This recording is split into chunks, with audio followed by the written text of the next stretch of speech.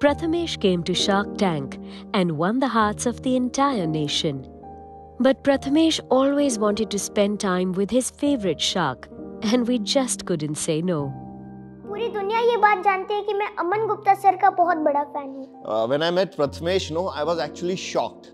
I have never seen somebody so positive, so amazing. So please welcome Prathamesh, our newest boathead.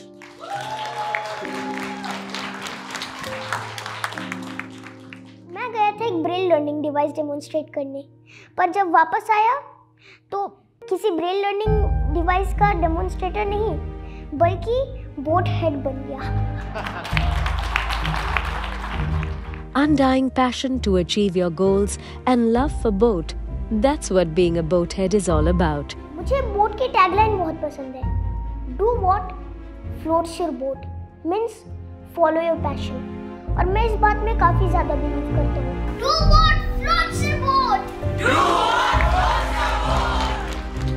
So we did everything to bring a smile to his face.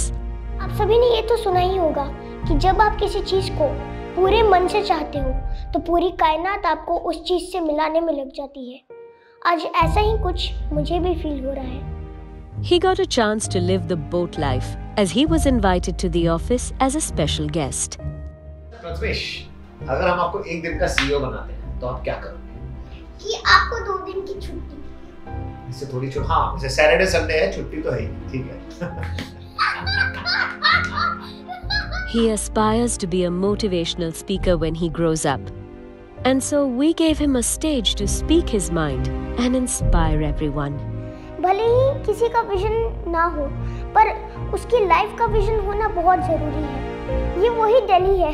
जहाँ पे 16 months की as में मेरा operation हुआ।